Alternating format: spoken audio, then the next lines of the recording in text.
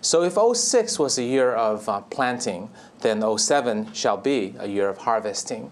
And that this is the year when you will undisputably see that Google Chinese search is the best search that exists in quality, in speed, in um, completeness, in coverage, in freshness, in features, in every possible imaginable way. Now, if you don't quite see that today, um, go home and try google.cn again. See if it's already improved over a few months ago.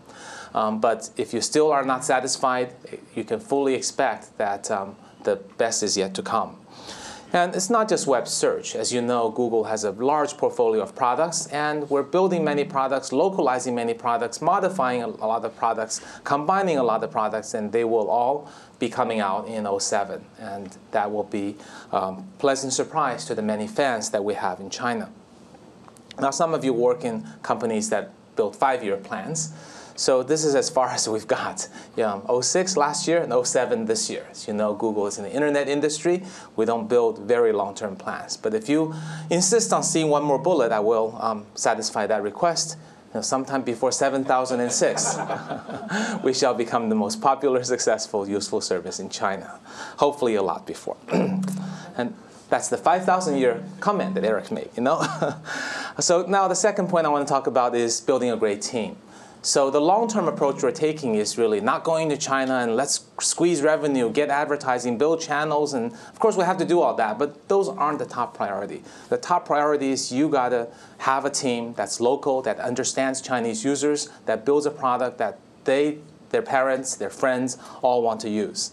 And that starts with a team. If you don't have a team, if you've got a bunch of Americans, and Chinese Americans if you want, they're not going to build the right products because they're not in market um, they're not talking to their friends about what's new and exciting and, and important to them. Okay?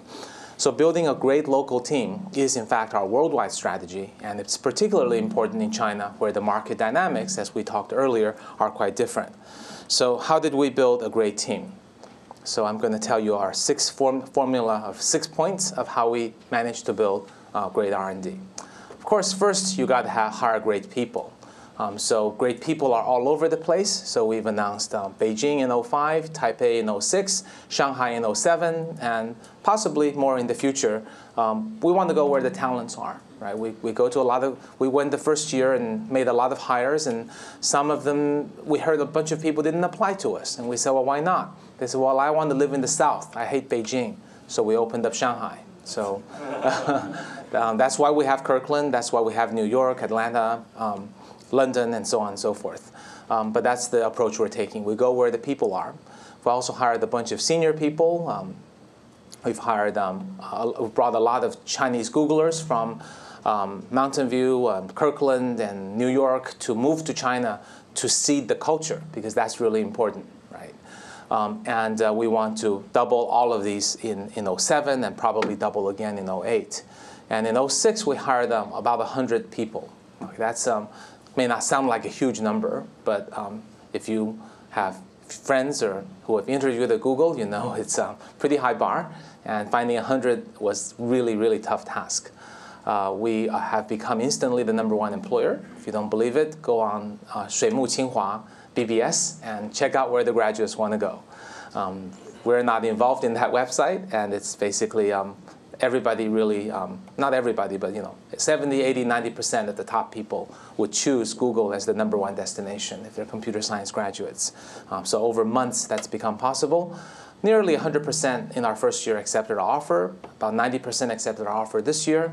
Uh, we've hired a champion, programming champion of the world, ACM. We've also hired the champion of CodeJam, which is uh, Google's own programming competition Hired number one student from many universities, and we'll grow and double, and on, so on and so forth. So this is going really, really well.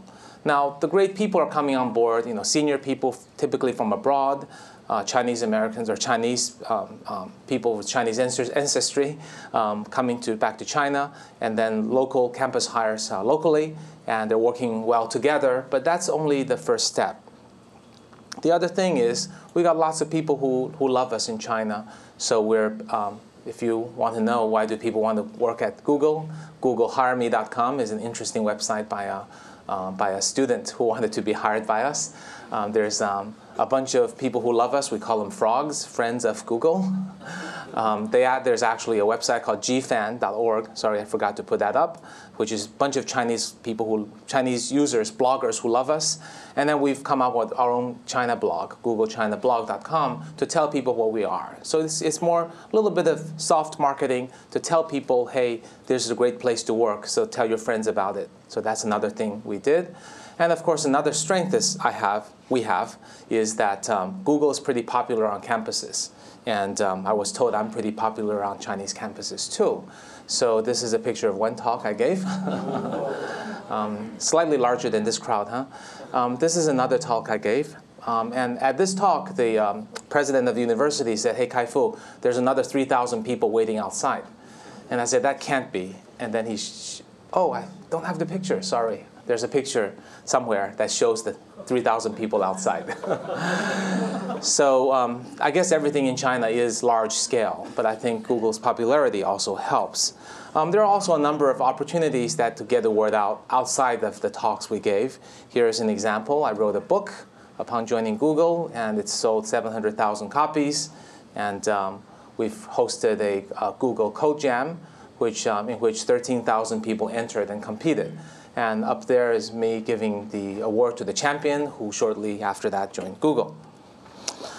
Um, but it's important also that we um, tell people this is Google you're joining. You're not joining an outsourcing company. You're not joining a localization company. You're joining a company that has special values um, that we, we, we believe in equal equality, that we believe in um, changing the world, that we believe in um, providing access to information, organizing the world's information, that we believe in that, that it's really very engineering-centric organization.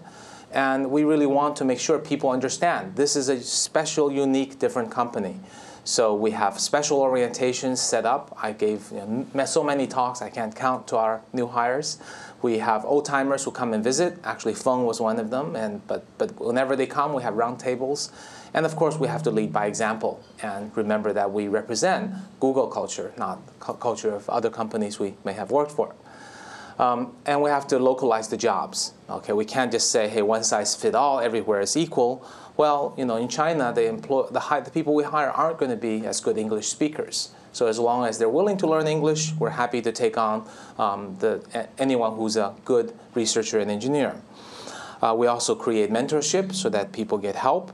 And we have lots of training, uh, including 6 to 12 months worth training, training in Mountain View, which is rather exceptional because we're betting everything in long term. These employees, we're betting long term. We're willing to train them even if they're not going to be instantaneously squeezing them every line of code out of them. That is not our goal, is to prepare them for the long haul.